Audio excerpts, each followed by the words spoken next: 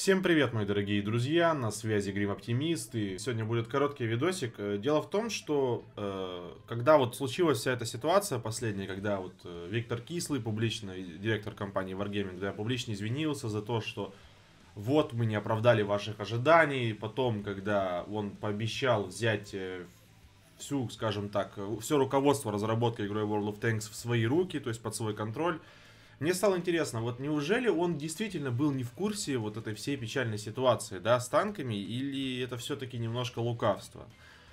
Э, конечно, официальной статистики у меня нет, понятное дело, поэтому я обратился к сайту What News и решил посмотреть вообще, вот, ну, что, что с игрой вообще происходило, вот, э, ее популярность там и так далее. Давайте посмотрим, мне просто вот э, любопытно. Тут, конечно, неофициальная статистика, она может отличаться от официальной, это понятное дело, все нас предупредили, но, как показывает практика, статистика вот News, она достаточно, э, достаточно точная. И если мы тут посмотрим, друзья, вот смотрите, самый главный график регистрации за месяц. Э, я тут сделал, э, ну, это по сути за последних два года, то есть с января 2014 года. Вот именно два года это то время, ребята, э, вот, когда игра вот действительно, то есть она вот, ну, не развивается. Может быть, кто-то скажет чуть больше двух лет, но мы хотя бы за два посмотрим. И смотрите, то есть, если э, глядеть по месяцам, то мы увидим то, что, ну, если вот э, за последний год даже посмотреть, то, ну, январь, понятно, тут был скачок, это график регистрации за месяц, э, относительно каждого месяца. Январь 2015, понятное дело, здесь был скачок, потому что в январе очень много всяких э, акций, халявы, там, X5, в общем, ну, народ как бы подтягивается. Плюс не забывайте каникулы, да, еще. Э, это ясно. Но потом, если мы глянем, вот начиная с весны, то э, ну, ничего не меняется. То есть примерно держится на одном уровне. Вот количество регистрации новых игроков в месяц. То есть приток новых игроков, он не падает. То, что здесь в конце скатилось, это просто, ну, ноябрь-то он еще как бы только-только начался. Тем более здесь э, статистика собрана 9 числа. То есть это меньше, чем за треть месяца. Поэтому это, ну, понятное дело, что это, эту цифру не надо воспринимать как падение. То есть действительно, вот если так грубо взглянуть, вот, грубо говоря, Минск мог отчитаться, да, ему там бумаги направить, что вот, смотрите, у нас количество новых регистраций, оно не упало, да, за последний там год. И действительно, то есть, если, ну, так вот взглянуть, э, так и кажется. Вот я не знаю, каким способом они это добиваются, но на самом деле, наверное, знаю, потому что вспомните, сколько сейчас рекламы везде, да, танков, на ютубе без конца, там, ну, везде просто. То есть, раньше рекламы вообще практически не было, сейчас много стало. Плюс сейчас идут акции просто по КД, то есть они не переставая херачатся.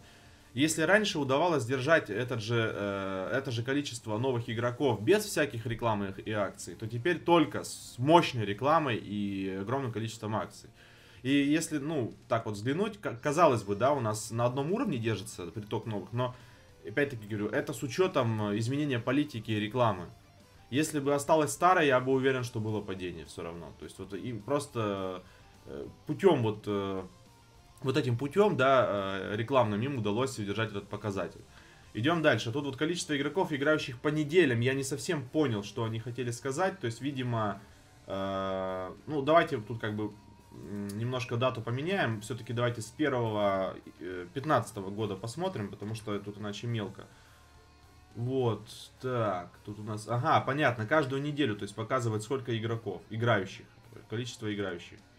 Ну, тут опять-таки вы видите, что никакого падения нету, то есть наоборот даже, вот к ноябрю тут немного больше стало, то есть по этому графику опять-таки нельзя сказать, что там за последний, хотя вот тут если смотреть, смотрите, с начала января, то все-таки график-то немножко как бы, это, так, ну, просел. Но все равно, то есть нету какого-то прям падения, то есть тут они могут отчитаться, сказать, что вот у нас, смотрите, подъем здесь, да, и так далее. То есть опять нету однозначного какого-то падения. Скорее это как вот, ну, кратковременное падение вот к августу. А можно опять отмазаться, сказать, что ну, 1 сентября же там, то все, ну, идут в школу, дети, студенты, как бы, ну, можно все это принять во внимание, вот. Э, вот, кстати, интересный график тоже. Количество игроков, находящихся в кланах относительно общего количества игроков. Смотрите, то есть тут процент 6, 7. Ну вот в лучшее время, тут, это опять-таки в 2014 году, было вон 6%. Сейчас вообще 5,9%. Вот, то есть всего лишь 5%, ну 6 хорошо, и от всех игроков состоят в кланах. Все остальные в кланах не состоят. То есть, понимаете, когда вводятся какие-то фишки для клановых игроков, это вот для 6%. Вот, э, прибавка процентного количества игроков относительно прошлой статистики. Вот, э, ну тут что-то как-то... Относительно прошлой статистики имеется в виду, что за прошлое это, ну за какое время это интересно. Вот не совсем понятно. Ну, это, я этот график просто надо, надо разбираться, что он означает. И вот, э, количество битв за последнюю неделю, то, что интересно, да. Тут почему-то графика вот э, именно за последнюю неделю только, я так понимаю, нет. На самом деле... Ага. Так, ну давайте 15 год здесь тоже сделаем. Вот так вот. Ну, опять-таки, да, если вот взглянуть, смотрите, вот э, тут была какая-то просадка, вот, 31 э, августа, да, ну, понятно, опять-таки говорю, 1 сентября, то все, ну, так в целом-то не падает, то есть, мы посмотрели с вами на графики, и вот если так вот не знать всю ситуацию с танками, вот будь я руководством, да, ну, представим, если бы я вот посмотрел, я бы, я бы не понял то, что с игрой что-то не то, то есть, я бы подумал, ну, да, как бы подъема нету, но ухудшения тоже нету.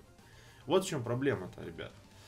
И это печально на самом деле, вот, то есть вот по, таки, по какой-то глобальной статистике понять невозможно, ребята. И вполне действительно, то есть вот, взглянув на эту статистику, можно подумать, что, может, действительно, Виктор Кислый был не в курсах, то есть, что происходит. То есть просто ему, ну, не доводили до его сведения специально или, или случайно, уж не знаю как там. Так и такие вот дела, друзья. Э, тут, кстати, еще интересно есть, э, ну, кое-что интересного. Вот, э, общее количество боев для игроков с количеством игр больше 300. Процент проигрышей, процент, это понятно, это фигня все. Вот, всего сыграно игр, интересно. Ага. Ага, так, стоп. Всего сыграно игр, шаг 500. Например, если написано 6000, то игрок в диапазоне 5500, 6000. Ага, то есть это вот э, сколько у человека сыграно игр и сколько им сыграно всего, блин. Ладно, сложно разбирать, надо разбираться, ребят. Тут где-то был интересный график, надо просто найти его. Вот, максимум опыта для игроков с количеством игр больше 300. Это, ну, это по эффективности, нас интересует статистика больше, вот. Вот, вот интересно, эффективность. Вот просто, друзья, смотрите. Э, распределение количества игроков по рейтингу эффективности, это, я так понимаю, за все время стата. Э, с количеством игр больше 300. Смотрите, вот. Рейтинг эффективности. У нас э, больше всего, ребята, то есть э, вот самое большое количество игроков с рейтингом эффективности 5, 550, 600 и 600, 650. То есть их, я не знаю, сколько их в процентах, тут не написано, тут просто в абсолютном количестве. Но это, ребята, же полный трэш. То есть 500 рейтинга эффективности, это, ну, это вообще капец. То есть, это человек, он вообще не играет э, по факту. То есть, он непонятно чем занимается. И вот дальше падает, падает, падает. И вот, начиная только, вот, нормальный рейтинг, ну, с 1000, да, начинается, условно говоря. 950, вот 1000, да, только вот столько. Все, что до этого, это жесть. Ну, э, тут вот да, даже есть люди, у которых рейтинг 200, 250, 300, капец. Тоже. Но это так, это не относится к теме нашего разговора, просто интересно. Вот, еще распределение количества игроков по рейтингу эффективности ВН8, э, да. Тут тоже довольно любопытно, то есть... Ну, тут, тут совершенно другая ситуация, то есть, э, ну, просто он немного по-другому считается, и опять-таки мы видим то, что э, ну, людей с нормальным ВН8 очень-очень мало, то есть, хотя побольше, чем с рейтингом эффективности. Средний захват тут, тут ну, это понятно, сбит очков захвата, это не особо, вот, уничтожено. В среднем уничтожено для игроков с количеством игр больше 300. Смотрите, то есть больше всего игроков, которые уничтожают один танк в два боя. Смотрите, 0,5 танка всего лишь за бой. Это жесть. То есть, ну и 0,5-0,6 тут больше всего. То есть, и тут вот, вот, ну, нормальный уже начинается один, да, это уже, значит, человек, по крайней мере, убивает один танк в бою, значит, он, ну, по крайней мере, не бесполезен. Но их, вот их сколько. Их всего лишь 4%, ребята, 4%, и потом еще меньше, меньше, меньше, и тут совсем нисколько практически. Вот люди, которые более-менее нормально уже играют. Ну, попадание неинтересно, количество выстрелов, средний урон. Вот, средний урон, ребята, то, что самое любопытное. Знаете, сколько больше всего среднего урона? 100! Но это, я подозреваю, связано с тем, что люди просто на первых уровнях играют в основном. То есть там, как бы, 100 урона это не так уж плохо порой. Ну, 100 мало, но 200, допустим, урона это уже не так уж плохо порой бывает. Вот. Средний полученный урон, опять же, ну тут вот понятно. Ну вот, вот эта вот кривая, она как раз означает то, что очень мало игра, очень много играет на low левелах, то есть, да, отсюда понятно. В общем, ребята, вот такая вот занимательная стата. как бы понятно, что давайте еще динамика тех, но это неинтересно, количество техники. Тоже как-то не особо кланы, вся техника разная. Тут ничего тут, в принципе, больше особо интересного нет. Разве что глянуть, э, какой самый плохой процент побед. ИСУ-130. 45%, ребята. Это жесть. Это жесть. Просто жесть. И на ФВ, смотрите, ФВ Stage 2 самая худшая, ну, одна из, из, из хай-левельных танков, да, самая худшая стата. Это просто пипец, ребята. За все время, ну, я специально за все время взял. 46% ребята на ней. И еще говорят, что танк, ну, блин, это хрень хуже, чем ФВшка абсолютно во всем. Су-101 47%, блин, ну, апнут ее вроде как обещали. Э, Черчилль и э, да, тоже. Вот смотрите, вот все то, все те танки, над которыми все вайнят постоянно, что они говно, у них реально херовая стата, то есть вообще непонятно, почему их не апают, да.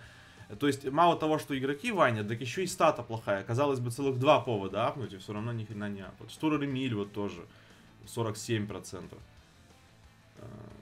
Что тут еще? Вот этот э, ПТшка, ну, это тоже не очень у нее. КВ-13, ну, КВ-13, кстати, хороший танк, мне он понравился в свое время. Э, не знаю, почему на нем такая. Ну, ИС-8 это понятно почему. Потому что играть люди не умеют, которые на нем играют. И мне так ИС-8 очень нравится лично. Это отличный танк. Ладно, давайте, в общем, не будем затягивать. Основная мысль, которую я хотел донести, это вот, э, вот это вот. То есть по кривым именно вот популярности игры в последнее время. И как мы выяснили, действительно, то есть эти кривые, они ничего не показывают практически. То есть они не показывают падение популярности игры, а оно есть на самом деле. То есть многие уходят, многие э, как бы, ну, приток, я подозреваю, все равно как-то он меняется. И мне кажется, что вот количество игроков, по крайней мере, которые играют активно, их, конечно, не очень много. Ладно, друзья, на этом все. Пишите свои комментарии, ставьте пальцы вверх, если было любопытно. Всем до скорого, всем пока.